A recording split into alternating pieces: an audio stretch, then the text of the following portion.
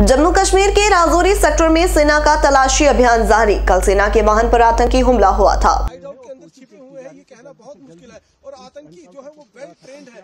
पिछली बार जब हमने जीओसी से बात की थी तो उन्होंने कहा था कि इस बात से भी इस बात को भी जो है नजरअंदाज नहीं किया जा सकता है कि पाकिस्तानी आर्मी के जो स्पेशल फोर्सेस के जवान है वो भी जम्मू कश्मीर के अंदर एज ए मिलिटेंट ऑपरेट कर रहे हो क्योंकि कुछ रिटायर्ड आर्मी ऑफिसर जो है वो निश्चित लगातार यहाँ जिनके ऑपरेशन कर रही है और कोशिश ये की जा रही है कि आतंकी को जल्द से जल्द ढेर कर दिया जाए पाकिस्तानी जनरल टांटोगरा के साथ मनोज स्पेशल फोर्सेस का जवान है वो वेल ट्रेंड होगा और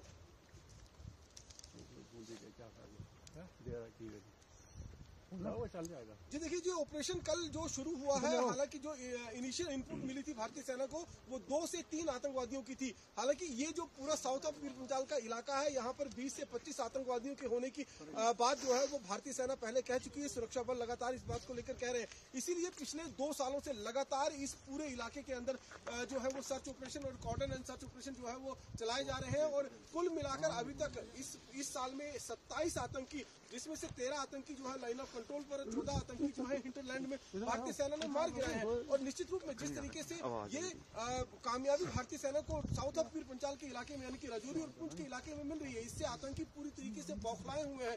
और अब वो गोरिल्ला वारफेयर की टैक्टिस को अपनाते हुए यहाँ पर भारतीय सेना के जो जवान है उन पर हमला बोल रहे हैं। पिछले अगर हम इस जनवरी की बात करें इस जनवरी में